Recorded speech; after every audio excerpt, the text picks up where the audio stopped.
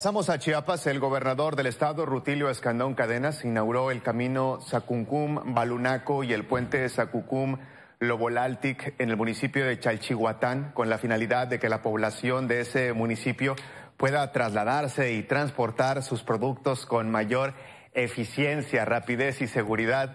Luego de reconocer las obras y acciones que se han realizado junto al ayuntamiento, el mandatario estatal apuntó que se beneficiará a este municipio con más obras en materia de caminos, deporte y agua potable, así como con el arreglo de la presidencia municipal.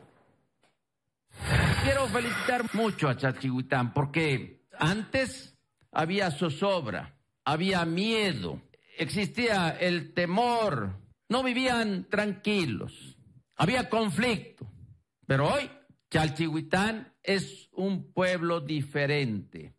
Ha crecido, ha evolucionado.